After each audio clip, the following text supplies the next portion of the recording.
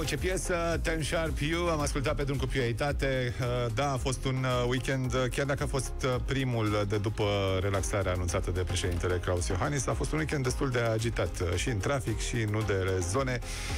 Un weekend mai aglomerat, un început de weekend mai aglomerat decât ce s-a întâmplat vineri, eu n-am mai văzut de mult. Da, Cătălin, bine ai venit. Las că e aglomerat azi în oraș mai mult decât uh, vineri. Așa ți s-a părut, da? Că e mai, da, da, da, mai aglomerat ca vinerea? Da, e ceva ieșit din comun. Bine, tu ai venit mai devreme la radio, am întârziat puțin, am întârziat, am venit mai venit la ora ta, eu da. am venit la ora mea, dar uh, apropo de piesa de mai devreme și Așa. finalul acela la Cu pian, și că am fost până la Vaslui și man, să mai laud și eu oamenii din orașul Vaslui, dacă îmi permiți, înainte de a trece Eu îți permit, mai ales la că rațiunea zilei. De obicei nu prea se aud lucruri bune despre... Știi că la România au talent acum la semifinala asta, pe locul întâi a ieșit un băiat din Vaslui, Rareș Ștrufea, îi spune. Da? Nu știam, și, bravo. Uh, da, uh, dar nu, bun, și asta e lauda, sigur, dar voiam să mai adaug ceva. Că acolo oamenii din Vaslui, un club al rotarienilor, au pus mână de la mână și i-au cumpărat băiatului un pian pe care i l-au dat săptămânile trecute, să știi. Și uh, da, au apelat la niște sponsori din oameni din străinătate. A fost așa o chestie foarte frumoasă, o cumpărătură destul de scumpă, că să știi că pianele nu sunt ieftine. Dar primar cine mai e la Vaslui? Cred că e tot cel de acum 5-6 uh, ani? Uh, da, cred că da. da. Nu, ce, ați avut un... Uh, ați avut ceva de nu va primi la masă? Da. nu la masă, nu ne-a nu dat niciun, deloc în oraș, niciun nu? colțișor, așa să transmitem și noi. Eram cu studioul mobil Am Europa FM, știi? Da. Într-o caravană prin țară și... Nu știam asta, da, da, da. Am ajuns acolo și dintr-un motiv sau altul nu s-a putut transmite din oraș, însă am descoperit împrejurimile Vasluiului, care sunt foarte, foarte frumoase și da. de pe marginea unui DN, nu mai țin minte exact ce DN e acolo, am, chiar, uh, am da. transmis chiar lângă o baltă, era și o baltă, un iaz de ăsta unde veneau pescari. la pește? N-am dat la pește, că eram la muncă, da. Dar uh, Eu, a fost chestii. până la urmă o experiență interesantă. Da, eram curios dacă e tot... Da, uh, e, e același primar, da? după știința mea, da. Urât dacă nu v-a primit Ați zis voi ceva nasol, nu? Hai ca să fie treaba treabă, nu? Adică... Măi, eu n-am zis nimic pentru prioritate, nu ba mâna în foc pentru alți colegi, dar mă rog, indiferent de ce s-ar fi da, spus. ar fi trebuit să vă primească. Da, uh, nu contează. Contează că, uite, mă bucur pentru băiatul ăsta născut da. și crescut în uh, Vaslui, care a ajuns în finala uh, România, România Talent, ai spus, nu? Da, da, da. da. Finala, că... rațiunea zilei. Așa. Cătălin Striblea a ajuns chiar acum. Rațiunea zilei cu Cătălin Striblea la Europa FM. În București, școala fizic va reîncepe miercuri, stimați ascultători, cel mai probabil, pentru că rata de infectare a scăzut sub 0,9. Multe alte părți începe deja școala, așa e noua legislație.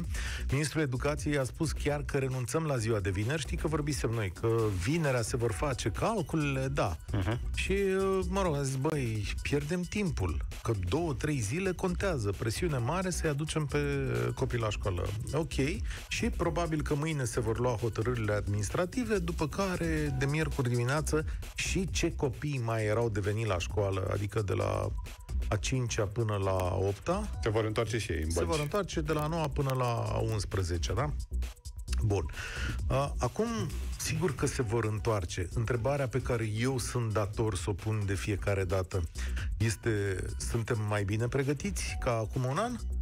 Am învățat ceva din chestiunea asta, adică clasele acelea sunt uh, fac față la 30-30 și ceva de copii în sala de clasă. Păi se pare că e mai slab pregătit virusul, așa de la 15 da, mai nu prea să mai antrenat și Dar ai dreptate. Eu am zis că aici lumea va veni și va spune, da, domnule, dar până la urmă boala a scăzut, cazurile sunt puține, este foarte adevărat, dar e de ajuns unul într-o comunitate. Și nu uitați că aici e vorba de copii care vor sta șase ore împreună, da?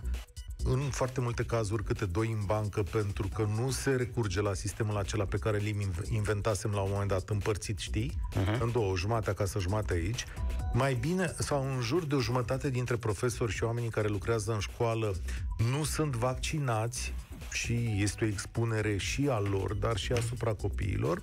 Sigur că se vor ține geamurile deschise, sigur că vor avea mască în măsura în care se va, se va putea, dar pentru mine sunt tot atât de multe semne de întrebare. Înțeleg și necesitatea școlii, dar aș vrea să fie toată lumea cu sufletul împăcat în măsura în care se va putea. Or, eu cred că nu se va putea acest lucru și în continuare sunt mirat de chestiunea asta, Radu, că statul român nu a reușit până astăzi, încât o mai fi luna 17, luna a 5 a 5 ziua, ziua 17 să facă testări. Sunt cele mai simple teste din lume, le găsești astăzi la farmacie, ți le dă. Ce este atât de greu ca să fi fost testați cu teste uh, minim invazive, neinvazive? Eu am înțeles că n-au vrut mulți părinți treaba asta. E adevărat? Foarte bine, n-au vrut părinți. Dacă n-au vrut părinți, de-aia ești stat. Că nu ești stat ca să-i cânti în strună părintelui, Ești stat ca să impui niște reglementări. Ce poate fi atât de complicat să-ți dea cu un bețișor cu salivă, să-ți ia salivă din gură și să-l pună pe o chestiune din aceea? Ce, o mare operațiune medicală? Se poate răni cineva în chestiunea Nu asta? cred că o să avem răspuns la întrebarea asta, pentru că ne-am întrebat toată pandemia de ce nu se testează așa cum ne-am fi dorit noi să se testeze și la testezi, măcar prin rotație, prin sondaj, testezi la câteva zile, dar este pentru siguranța noastră și a copiilor noștri. Așa ar fi trebuit să funcționeze funcționeze lucrurile, ori ele nu funcționează de maniera asta. Putem face o paralelă cu ce se întâmplă la Eurovision. Dacă un singur membru din delegația României sau altei țări este depistat în urma unui test pozitiv, delegația aia nu mai are ce căuta în semifinală sau în finală. Iată. Deci, Dar uitați. pot să pun altă întrebare, că am făcut evenimente pilot cu teatru, a fost domn prim-ministru la teatru, exact. s-a mers la operă, s-a venit cu oameni vaccinați acolo, cu certificate, s-au verificat în platformă. Deci pentru un eveniment cultural i-am adunat cu certificate de vaccinare și cu alte documente, în timp ce pentru un eveniment școlar care se desfășoară mult mai des și e cu persoane nevaccinate de toate părțile, măsurile de siguranță nu și ne bazăm pe mască. Pe mască, pe spălat mâini și pe deschisul geamurilor.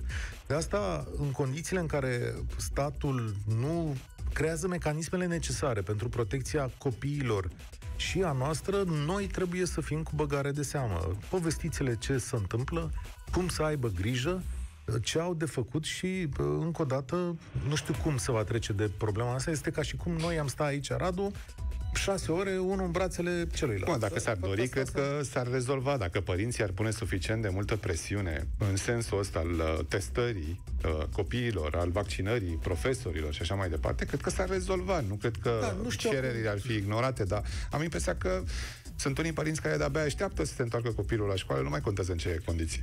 Cu toții așteptăm, dar uite că eu la mine contează și condițiile, că sigur că mie mai drag să-l văd sănătos, deși îmi dau seama că trebuie să, să meargă la școală și să, cum să zic, ca lucrurile să fie în regulă pentru mintea lui, că e nevoie și de asta. Dar pentru mine e în continuare o mare mirare. Chiar suntem atât de săraci încât să N-ați văzut nici potențialul afacerii? Hai că vă dau o idee. E da. ca la cornul și laptele, frate, dar cineva din politică chiar nu știe să facă un ban cu treaba asta? Da, când e pe bani s-ar putea să meargă. Deci, da, mulțumiți lui Cătălin pentru idee. Da, uitați, v-am dat soluția. Corupția obișnuită. Cum ar fi? Păi până acum vă băteați să vindeți pâine, corn, lapte, nu știu ce, niște teste. Gândiți-vă că puteți face un milion de euro pe zi. Mulțumim pentru comentarii, Cătălin Striblea. Te seama ce prostie. Nu mai ia cineva în serios acum să zică, băi, ăsta e nebun. da, nu ești nebun, ești da. realist, din păcate. Serios, adică... da. Adică, din fericire, nu ești nebun, ești realist. Să nu se înțeleagă altceva. Uh, rămâneți alături de Europa FM. Continuă drum cu prioritate. Cătălin Striblea revine mâine la România în direct de la 1 și un sfert. Oricând ne asculti, promitem să-ți aducem cea mai bună muzică de ieri și de azi. All day long, all the time. Europa FM